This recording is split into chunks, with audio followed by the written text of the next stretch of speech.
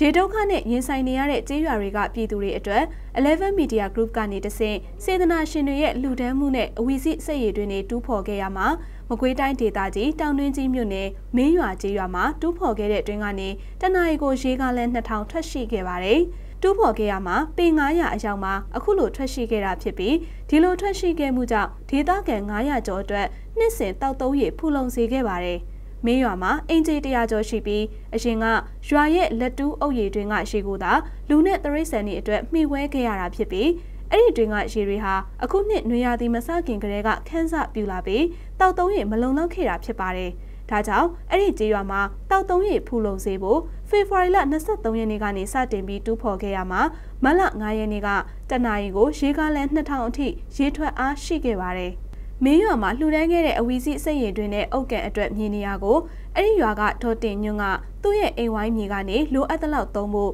တားစင်မြေဆက်အထိရာသက်ပံလှူဒန်းပေးခဲ့တာဖြစ်ပါတယ်။အခုလိုရေရရှိမှုနဲ့ပတ်သက်ပြီးဒေတာခံတွေကလည်းသူတို့ရဲ့ခန်းစားချက်ကိုအခုလိုပြောပါတယ်။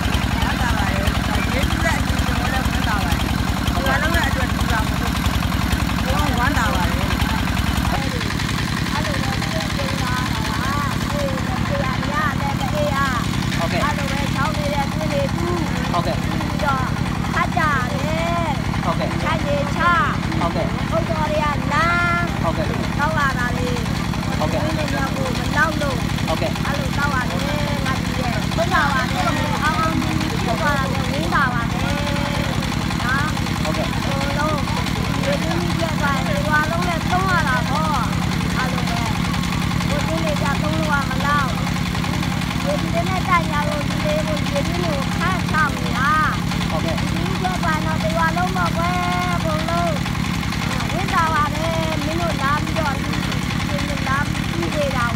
လှူဒန်းမှုတွေကိုတောင်တွင်းကြီးမြို့မှာသာမက6မြို့နယ်တန်းပင်ကျေးရွာနဲ့ကြောက်တန်းကျေးရွာစေတုတ်တရာမြို့နယ်ကြောက်ပုံခဲပြစ်ကျေးရွာတွေမှာလည်းအဝီစီစက်ရည်တွင်တွေဆက်လက်တူးဖော်လျက်ရှိပါတယ်။ဒါအပြင်6မြို့နယ်ဇီးကြိုပင်ဥယျင်မကြီးဆောက်ကျေးရွာတွေအတွက်လည်းတလစာရေကလန်တသိန်း2000ကိုလှူဒန်းလျက်ရှိပါတယ်။